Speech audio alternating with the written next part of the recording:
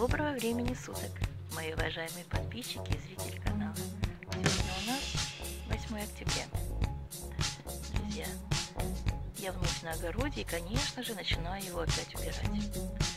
Огород у меня большой, поэтому мне приходится очень много времени тратить на свои, а, так сказать, работы.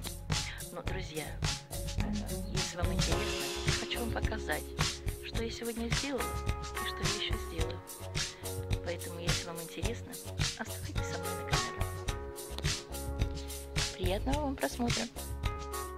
Мы стоим на огороде, где у меня росли пепина, вот здесь, и перцы. Друзья, вот у меня возникла такая идея. Очень много у меня собралось, так сказать, мусора. Ну как, ветки, э, всевозможные трава и так далее, и так далее.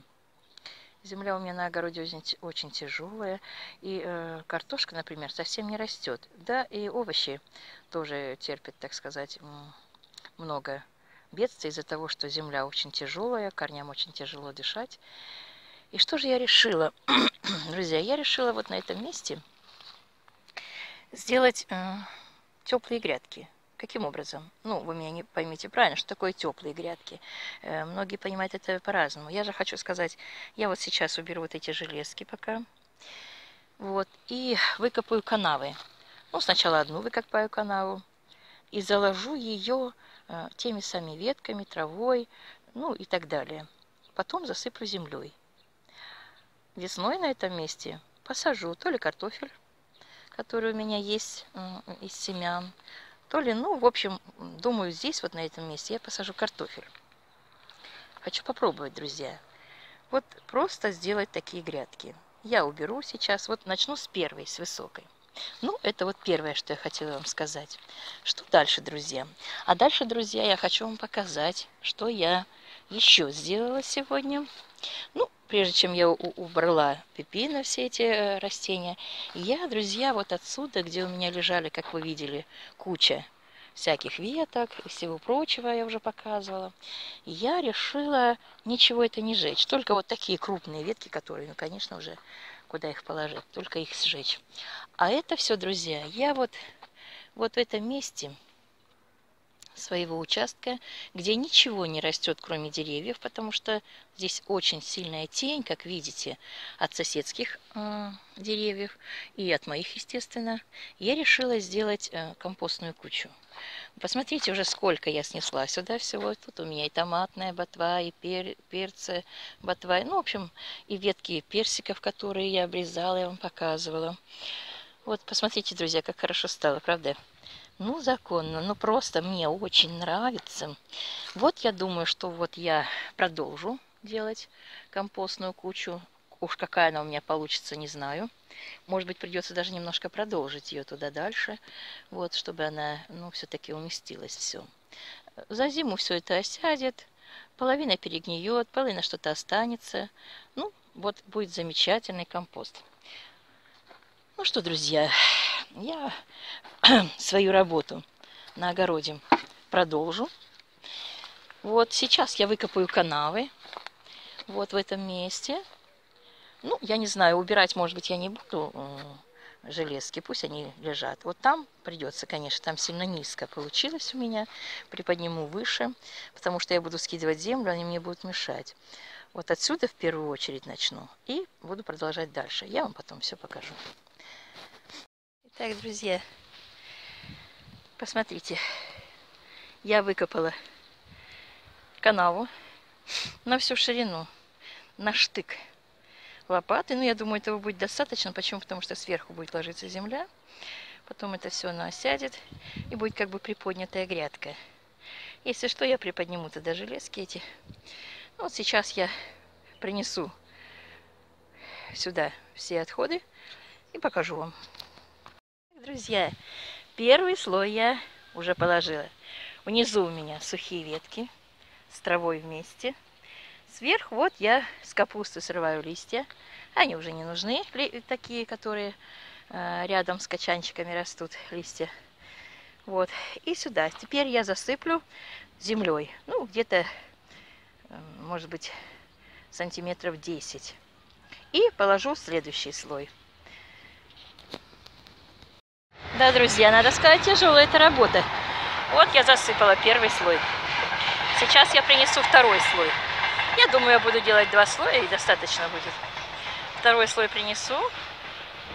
И точно так же засыплю. Сначала сухие принесу. Я поливаю, друзья. Обязательно водичкой поливаю, потому что сухие ветки. Надо, чтобы они хоть немножко были влажные. Для червяков нужно влажное место. Вот сейчас принесу, заложу, покажу вам. И снова засыплю землей. Друзья, второй слой я опять наложила. Опять внизу сухие ветки. Хорошо утоптала, пролила. Сверху положила капустные листья. Вот, посмотрите, как капусточка завиднелась у меня сразу. Так, сейчас насыплю земли. Вот, и начну следующую грядку. Так, друзья, посмотрите, какая грядочка у меня получилась уже одна. Пока я ее тут засыпала землей, вот образовалась еще яма. Ну, маловато. Сейчас я ее подровняю и начну улаживать. А отсюда с этого края начну засыпать. И так дальше. И так, какие у меня там он есть куча веток, и все, все сюда уйдет.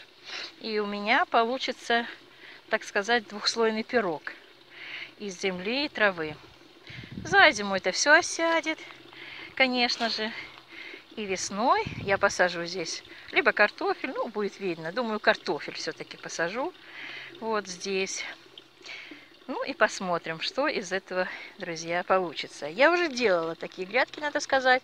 Здесь вот они у меня были.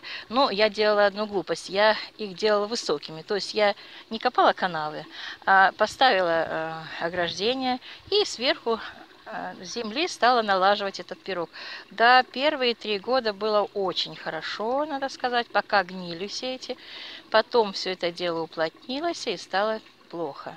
Так что, друзья, вот таким образом, я думаю, буду я делать. Ну вот сейчас начну. Ну, я еще хочу сказать, что я сейчас посею здесь горчицу с фацелией. Смешаю фацелию, горчицу и посею. И пускай растут сразу же. Друзья, сейчас небольшой перекур. Вот как хорошо полакомиться виноградиком Лидия. Я уже говорила, что мы его вообще не рвем просто так оставляем на осень. И вот когда мы работаем, ну, а работаем мы кто? Ну, я одна работаю в саду. Ну, мужчины тоже хоть лакомиться. Вот, как видите, висит виноград Лидия. Он сейчас самый вкусный. Посмотрите, замечательный. Вот остался на огороде. И я вот сейчас, у меня небольшой перекурчик, и я, конечно же, сейчас съем кисточку винограда.